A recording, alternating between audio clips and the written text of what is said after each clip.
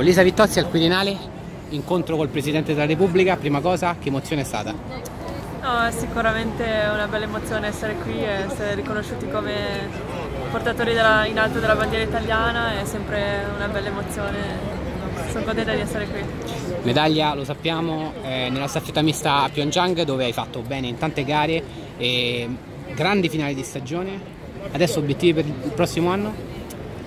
Ma quest'anno è stata una stagione per me molto importante, quindi mi dà molta fiducia per il prossimo anno, spero di riconfermarmi a questi livelli perché son, ci ho lavorato molto e quindi spero che possa essere una stagione come questa, anzi forse migliore.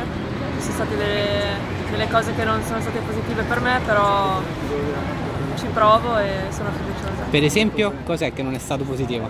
Ma ci sono delle gare che ho non sono stata al 100% e ho fatto degli errori che forse non mi sono perdonata molto e ci lavorerò su questo, so, ho capito quali sono le mie, le mie lacune e cerco di lavorare su questo e magari il prossimo anno riconfermarmi. Senti, a Pyeongchang, eh, faccio un salto indietro, eh, il tuo approccio alle Olimpiadi, eh, le, molte attenzioni dell'Italia erano riservate a Dorotea Fiere che è più grande di te sta sul, sul circuito da molto più tempo.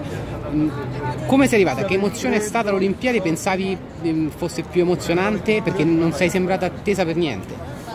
Diciamo che sì, mi aspettavo che fosse qualcosa di più grande da come me lo descrivevano, comunque le è sempre una grande emozione, non ci sono mai stata, però ero molto tranquilla, forse avevo sì tensione per le gare, però sono arrivata lì con la convinzione di vincere ci ho provato è andata bene e male, non ho portato a casa forse una medaglia individuale che mi aspettavo per poco, ma sono comunque fiduciosa, ci sono ancora le prossime Olimpiadi che posso fare il mio e ci proverò e comunque nel complesso è stata un'Olimpiade magnifica per me. Se guardi al futuro prossimo e le prossime stagioni, il primo sogno che è nella testa di Elisa Vittozzi qual è?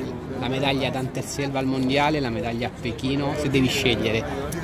Ma se devo scegliere la medaglia a Pechino, però diciamo che sono comunque tre stagioni prima delle Olimpiadi che voglio fare bene, voglio arrivare a Pechino con, uh, con, i miei obiettivi e voglio portarli a casa.